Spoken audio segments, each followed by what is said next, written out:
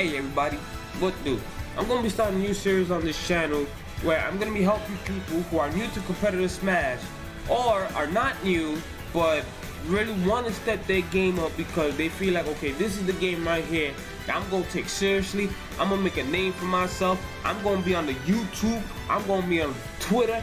Everybody gonna be freaking talking about me. They gonna know my name out here. They gonna know right?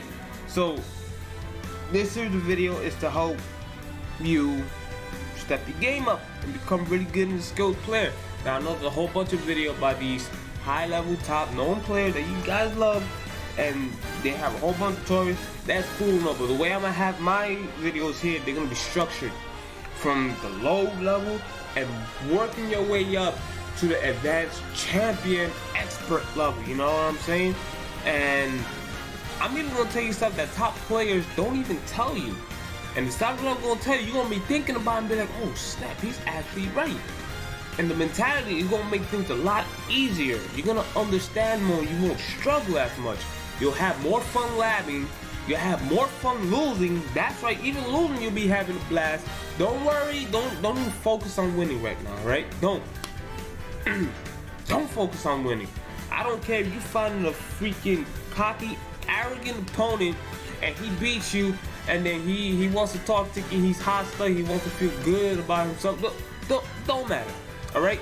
Because when you're trying to win, you're not gonna focus on the stuff that you're weak at because in fear of losing, all right? You play to learn, not to win. Once you get better and got everything down, you go back to that cocky person and then you whip his ass like five, ten times and shit. And I bet you he won't be talking all that hot shit he was before you step the game up. I bet you he won't. Bet you he won't. So, with that said, we're gonna get right into it. So, the first thing you wanna do, right, is you gotta figure out what character you wanna play. Alright, who you gonna main? Now, I know that the game just came out and the game with all these characters is hyped. Alright, I know, but you can't be like, okay, so Mario, he, he he's my main, but then I got DDD, he's my fifth main, and then I got Tron, he's my 17th main, but then Robin, he's my second. No, no, no, no. You cannot do that. You cannot do that. If you really want to take it seriously, you want to have a solid character down, you got to pick one character, and you got to play them 80% of the time. I say 80 because the other 20%, you probably want to take a break, right? You want to take a break, have some fun. That's cool, man. Video games are all about fun. But after that, when you want to get back to serious mode and have a solid character, that one character you got picked 80% of the time, man. Throughout all the matches. This is how you get better. This is how consistency builds up. And this is how you learn matchups quick, man. So, let's say for instance, okay, I just picked up the game, damn, all these freaky characters, yo. Who, who, who I want? Who I want? Hmm, who I want? Well, I am a big fan of say you're a fan of Fire Emblem, right? Marth, right? Cool. Marth, pick your color. Alright, boom. The moment you decide that you want to play Marth, stick with him. Now, after you play the character, you kind of feel like, okay, eh, he doesn't feel right to me, man. Like, I don't like his play style. Like, for me to win and really take advantage of the way the character is, like, his play style just not for me. Then you gonna be like, alright, forget Marth and pick somebody else, right? But let's say you like how he plays and you really want to go serious with Marth, first thing you do, you go training mode, you learn the range of your attack. This is this first thing you gotta do. Learn the range of your attack, because spacing is important, alright? When you space your attack, it makes it hard for your opponent to punish you, and I did not know that Marth's jab sucks the opponent in. See, it sucks him in. What the fuck? Okay. Anyway, yeah, back to back to the point here. So, look at the attack, see how fast they come out, right? Just like I don't know, visual cue to speed. But you actually want to know, and you want to take your learning character experience to a whole nother level. You can do this. Okay, frame, frame, hit jab. One, two, three, four, five, six. Well, I'm not close. But if you hit the opponent, right, we do this here. Let's get a bit closer. One, two, three, four. like four frames. I'm pretty sure that's not accurate, but it's around there, four or five frames. Jab comes out. Okay, of your attacks is good, right? Of your attacks is good. Um, but that's more of the advanced stuff when it comes to frame data. I'm kind of getting a bit ahead of myself. I do apologize for that. Right now, we're gonna keep it simple, right? So, know the range of your attacks. Be like, okay, if I stand here, okay, I can hit DK. Okay, cool. Down tilt, let's see the range. Uh, okay, no, gotta be closer. closer than that, like right here. Okay, that's good. All right. And you can also use these lines here as well like put the computer, let's say put DK at number five, and then use the um, the measurements in the background to kind of determine the distance. Be like, if I stand here, can I hit DK? See at number five? Yep, I can. So now you know the distance. If DK standing at number five, and you're standing here, poke him, you know you're good. But that's the first thing we want to do learn how the moves work, and after you swing, block. This tells you how much, pretty much get an idea of when the move ends. Because the moment you block, that's when it ends. That lets you know you can do something else. Okay? Lets you know how laggy it is. The cooldown time. This is what you do. Okay, as you can see, so like, if you was to do an up smash right here, and you miss, and the opponent's right there, they can pretty much punish you. Alright? Down smash 2 if you miss.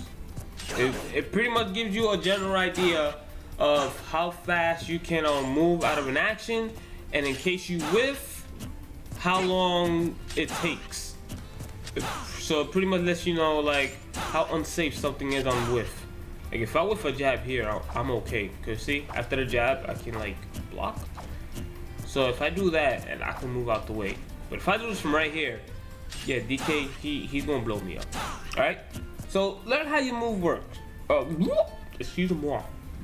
Learn how your moves work. All right? Test them out. Hit. See how much hitstun they got. Whatnot. You know, test all that. The range spacing. Spacing is important. Marth, he's a spacing character. So anybody that wants to learn spacing or likes the space, you keep the opponent at a distance, but you know, not using a projectile, just pressure. Marth, he's definitely one of those characters for that. Because he does more damage when he hits at the edge of his sword. Okay? So boom, you went through all of Marth's moves, and you know, um, the the recovery time, all that. Now the next thing you want to do is you need to learn how to move, okay? Because this is this is what people are doing right now that is bad. And it's probably it's probably freaking biting them in the ass against a really skilled opponent. This is what people are doing. So let me reset the CPU to this. All right. After they learn the the moves and whatnot, people people are just doing this. So let's say I play Marth, right? People are doing this.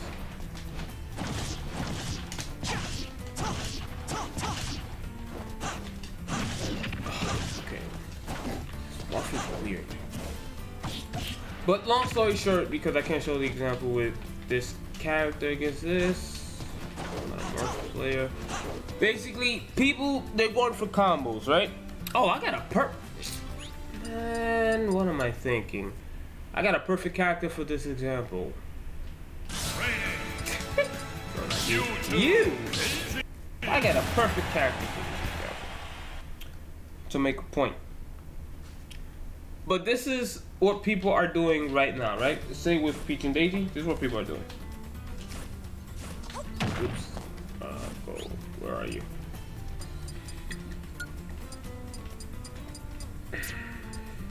Oh, I could just reset. Keep forgetting about that. Okay, this is what people are doing. No.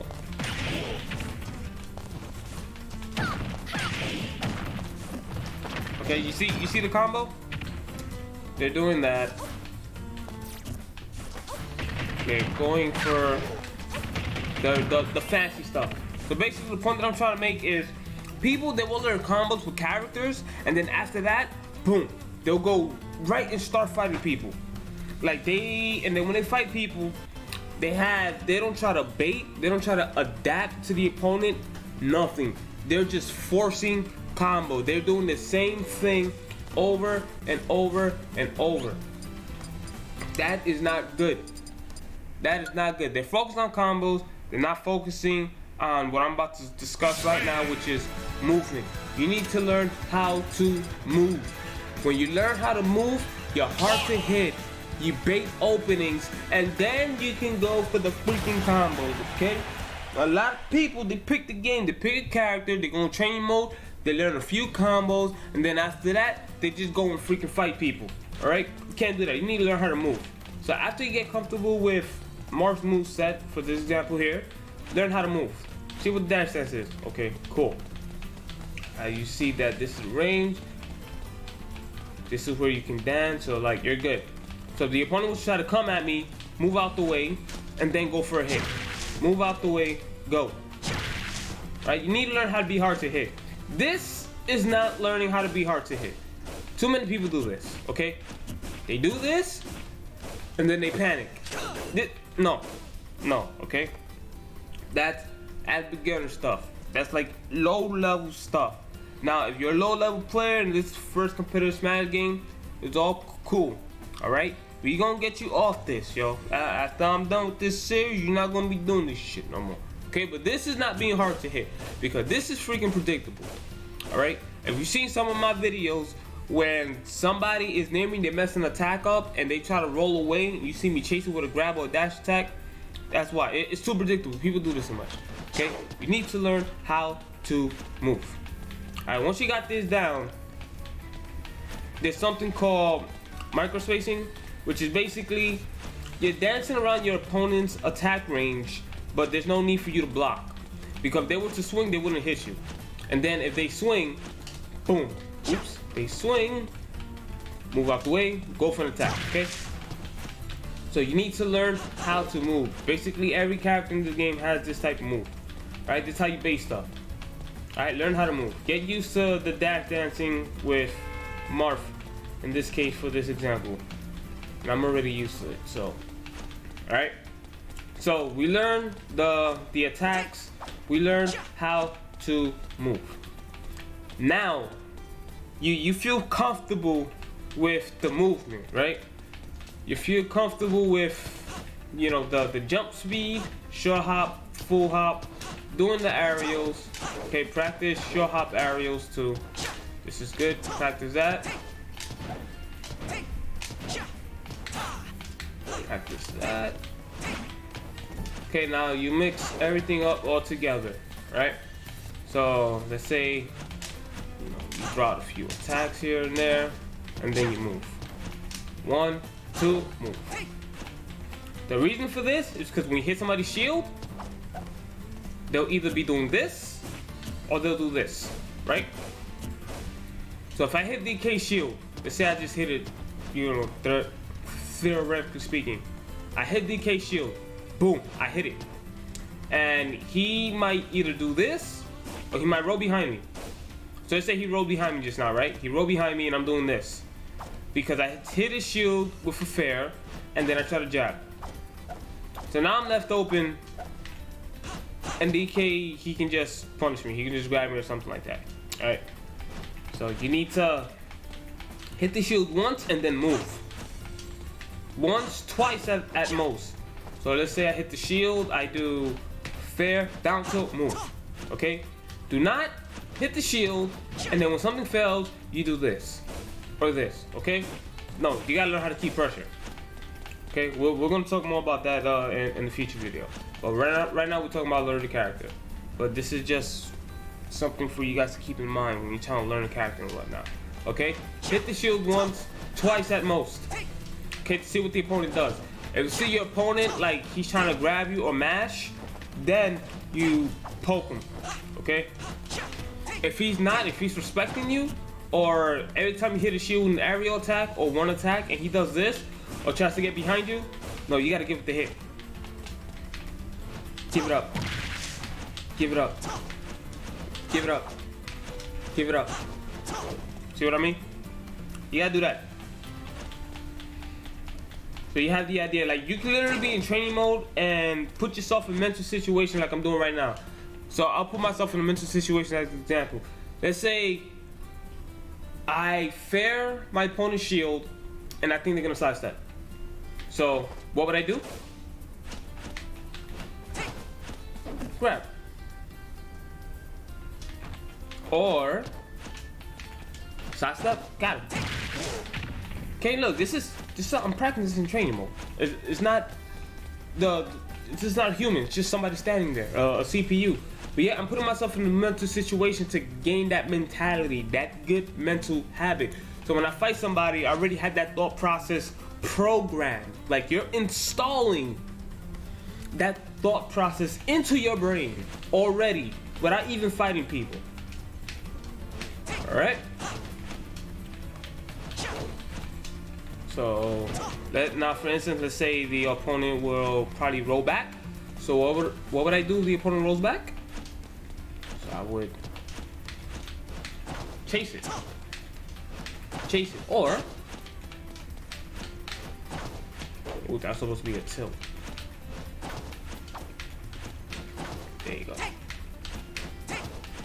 Okay. Or grab them.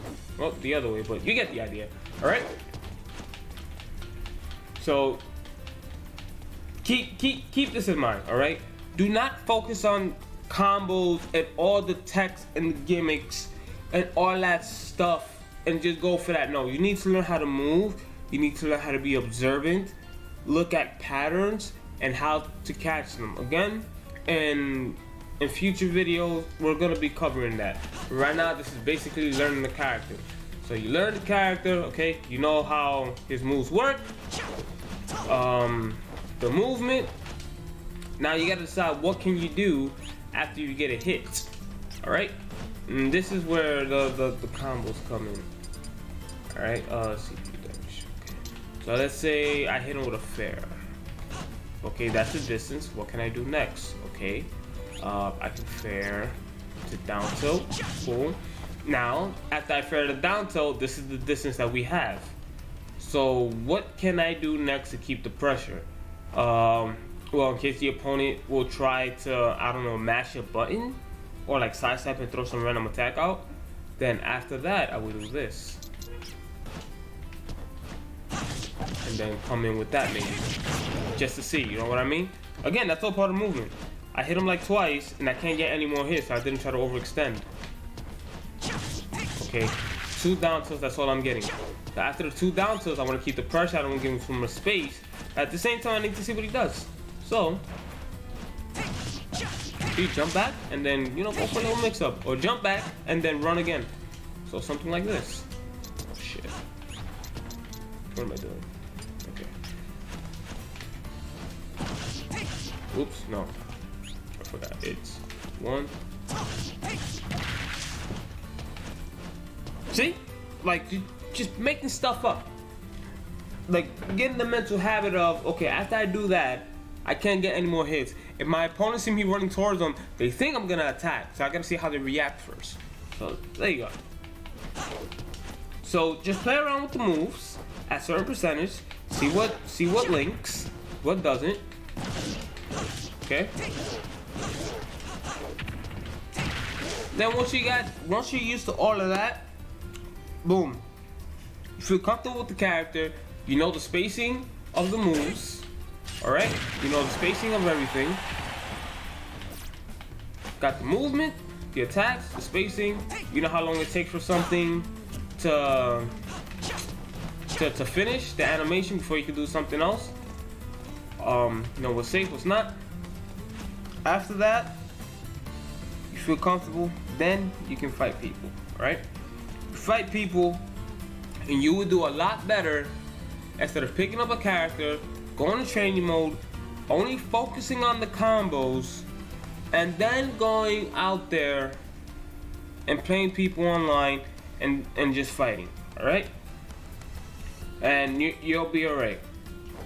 You'll, you'll, you'll literally be alright. Just, Just keep everything that I said in this video in mind. Now, before I end this video, I just want to say a few things. One, the heck with a tier list, okay? The, the heck with a tier list. I don't care what these high level players or whatnot, this tier list that they're making, it doesn't mean anything to me, okay? It doesn't mean anything. The game is still young. People are probably still playing these characters and they didn't unlock their full potential. Because once that happens, I bet you people gonna have different opinions. They're saying that a character is OP, but after a while they're gonna be like the character sucks. Perfect example, Smash 4. When Cloud was first announced in the trailer, everybody was like, oh my god, it's freaking Cloud. Yo, he gonna be OP. That character gonna be broken. It's over. Cloud came out, a few days later, yo, Cloud sucks. Oh my god, he can't recover. He's like a little Mac with a sword. He is not good. And then somebody does work with Cloud in the tournament. Oh my god, yo, Cloud, he is cheap. The freaking up airs, resident sleeper. Oh my god, the limit break.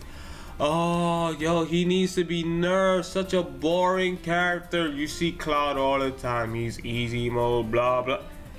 You see what I'm saying? Like, people gonna do that. And it's happening right now with freaking Smash 5. That's a tier list. Don't let that cloud your judgment of who you want to play, or who's good, who's bad. The, the hell with the tier list, right? The hell with that. Second thing, don't complain about freaking characters or or moves, all right? Because that's not gonna do nothing, all right? It, it, it's your fault. If you're getting hit with something, it's your fault. Like for instance, people are complaining about the Inkling freaking roller. That's still fine freaking crazy to me. That move is slow. A lot of things can beat it out. You can shield grab the damn thing, if anything. People are just saying that it's broken because if you get buried at high percent, it's a free kill. But they're ignoring the, the, flaws, the many flaws that it freaking has. Just because of that one thing, it makes the move broken. No, stop. If you're getting hit, you're getting buried, and you're dying, you deserve it. Alright? So don't complain about moves, don't complain about characters. Take responsibility for your losses and learn. If you get hit, learn why. If you're struggling, learn why and fix it. All right, because the complaining is not gonna do anything. It's not. I, I, I need to get that because you really need to have a good mentality if you want to get good at the game and complaining and johning just so you can feel good about yourself for freaking losing it's not gonna do anything if you can't accept the loss you can't accept the w all right if you're not ready to lose you ain't ready to win and with that said, we're gonna end the video. Keep it mm, short, simple. All right. This is just basically learning character, picking it up. The next thing I want, I'm gonna cover in the next video is habits. Because people they have a lot of habits when they start playing the game. And when you guys see me fight people, you see me punish these habits such as always want to roll. Um, after you hit them, they want to double jump. I just bait it out and then I punish them. Alright, so I'm gonna help you guys in the next video get off these habits, how to train yourself to get off these habits, and get good ones. Good habits. Alright? So hopefully you, you guys will be looking forward. Hopefully this video right here helped you. Um Yeah, I think that's all I got to say right there. So thanks for watching. Thanks for all the new subscribers I got through my recent videos, as well as my veteran subscribers all you guys put together are freaking savages. And I'll see y'all next time. Deuces!